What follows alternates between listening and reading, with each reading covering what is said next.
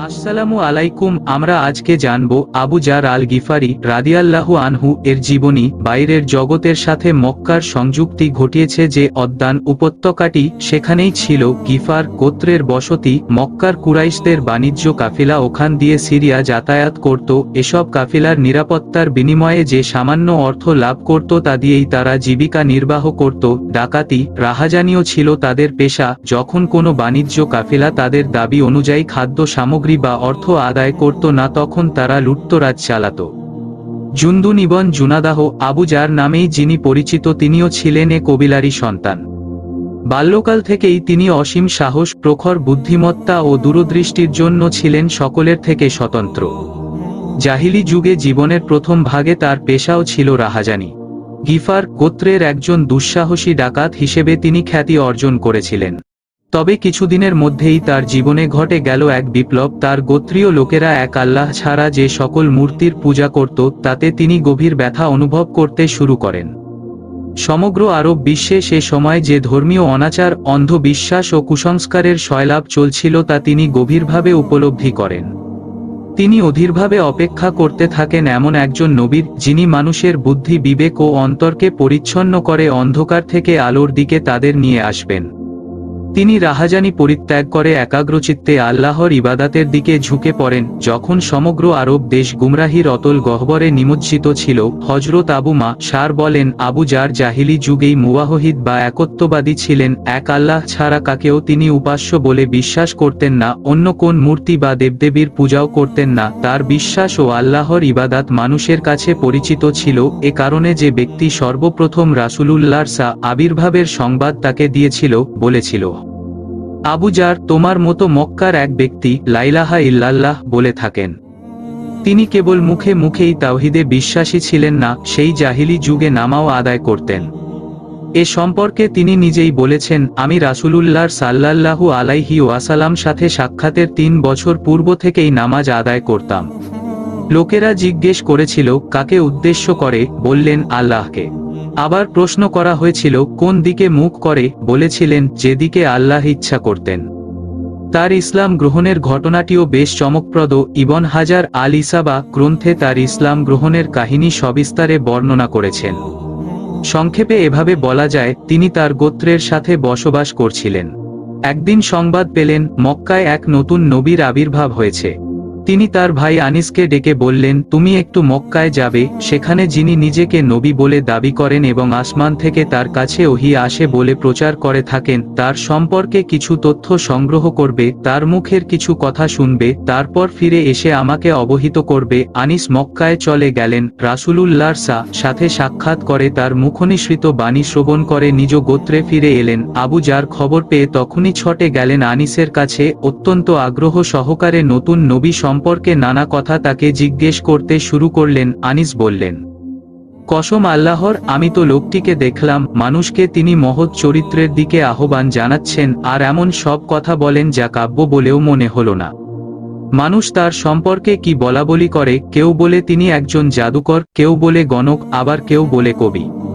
আল্লাহর কসম, তুমি আমার তৃষ্ণা মেটাতে পারলে না, আমার আকাঙ্ক্ষা পূরণ করতে সক্ষম হলে না, তুমি কি পারবে আমার পরিবারের দায়িত্বভার গ্রহণ করতে, যাতে আমি মক্কায় গিয়ে সচক্ষেই তার অবস্থা দেখে আসতে পারি? নিশ্চয়ই, তবে আপনি মক্কাবাসীদের সম্পর্কে সতর্ক থাকবেন। পরদিন প্রত্যুষে আবু যার চললেন মক্কার উদ্দেশ্যে, সঙ্গে নিলেন কিছু পাথেয় ও এক মশক পানি। সর্বদা তিনি শঙ্কিত, ভীতচকিত, না জানি কেউ জেনে ফেলে তার উদ্দেশ্য। এ অবস্থায় তিনি পৌঁছলেন মক্কায়, কোন ব্যক্তির কাছে মুহাম্মাদসা সম্পর্কে কোন কথা জিজ্ঞেস করা তিনি সমীচীন মনে করলেন না।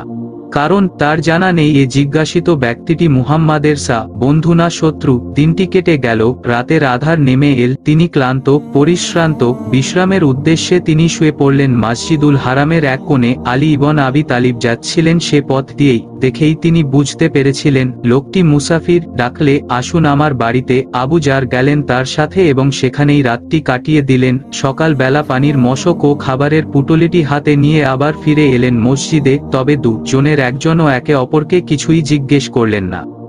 পরের দিনটিও কেটে গেল, কিন্তু নবীর সঙ্গে পরিচয় হল না, আজও তিনি মসজিদেই শুয়ে পড়লেন, আজও আলীরা আবার সে পথ দিয়েই যাচ্ছিলেন, বললেন, ব্যাপার কি? লোকটি আজও তার গন্তব্যস্থল চিনতে পারেনি, তিনি তাকে আবার সঙ্গে করে বাড়িতে নিয়ে গেলেন, এ রাতটিও সেখানে কেটে গেল, এদিনও কেউ কাউকে জিজ্ঞেস করলেন না, একইভাবে তৃতীয় রাতটি নেমে এলো, আলীরা আজ বললেন বলুন তো আপনি কি উদ্দেশ্যে মক্কায় এসেছেন? তিনি বললেন, আপনি যদি আমার কাছে অঙ্গীকার করেন, আমার কাঙ্ক্ষিত বিষয়ের দিকে আমাকে পথ দেখাবেন, তাহলে আমি বলতে পারি, আলীরা অঙ্গীকার করলেন।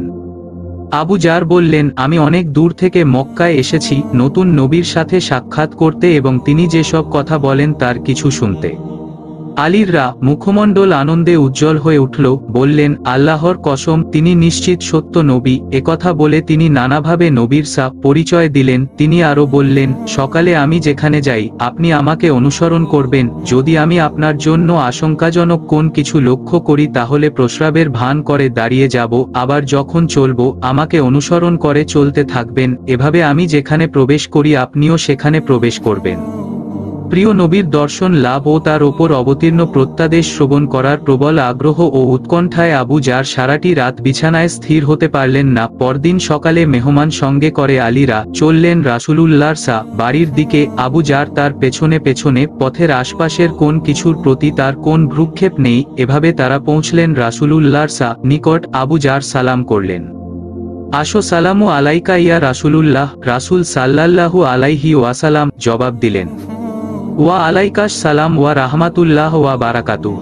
এভাবে আবু যার সর্বপ্রথম ইসলামী কায়দায় রাসূলুল্লাহকে সাল্লাল্লাহু আলাইহি ওয়াসালাম সালাম পেশ করার গৌরব অর্জন করেন, অতঃপর সালাম বিনিময়ের এ পদ্ধতি গৃহীত ও প্রচারিত হয়। রাসূল সাল্লাল্লাহু আলাইহি ওয়াসালাম আবু জারকে ইসলামের দাওয়াত দিলেন এবং কুরআনের কিছু আয়াত তিলাওয়াত করে শোনালেন।